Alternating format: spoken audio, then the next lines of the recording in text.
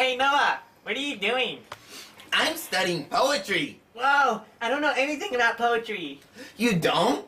There's a whole world of poetry out there. Wow, it's poetry time. Will you care to join me? Yup. Let's go!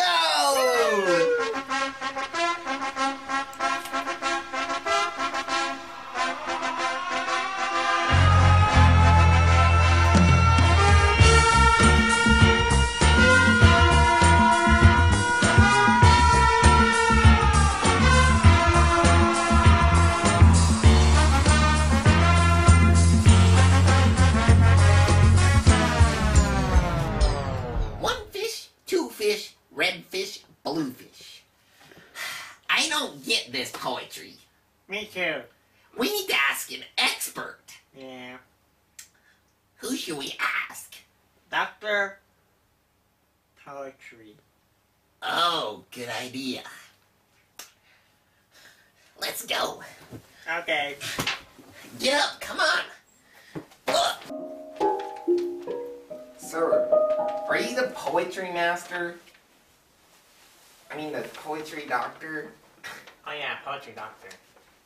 Hey man, they call me many things in my country, but I am one who knows poetry like the sands of the sea, flowing through me, man. I can help you with poetry, man. He's perfect. Dr. Poetry, what exactly is a rhyme? A rhyme is the most important thing you got to know about poetry, man. A rhyme is the matching of final vowels or consonants in two or more words. Like, for example, Dr. Seuss, my man. One fish, two fish, red fish, blue fish. The two and the blue rhyme. See that? It creates an echo effect. It adds to the Oh. structure and rhythm of the poem. Oh, that makes sense. There are different types of rhymes, man. For example, end rhyme is when the rhyme occurs at the end of each line in two lines. There's also internal rhyme. In this type of rhyme, the rhyme occurs in the same line in the middle of it. For example, let's see. That would be like if I said the line, I am the daughter of earth and water. Daughter and water rhyme, but it's in Ah. the same line. See? Ah. Then there's feminine rhyme, where two words with more than one syllable rhyme together. Like you might say trimming and brimming. And in masculine rhyme, the words that rhyme is only one syllable long, like jock and brock. Ah. And those are in the end of the line? Yeah, they can. They're all in the end of the lines, Oh. feminine and masculine. And then finally, there's slant, near, imperfect rhyme.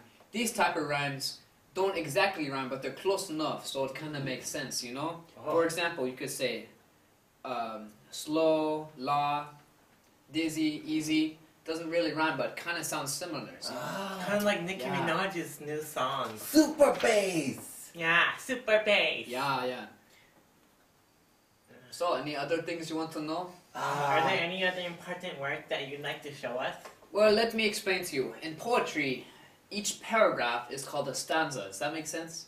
Ah, Kind of like a, like an idea. Yes. It expresses an idea. There's also something called turning points in poetry.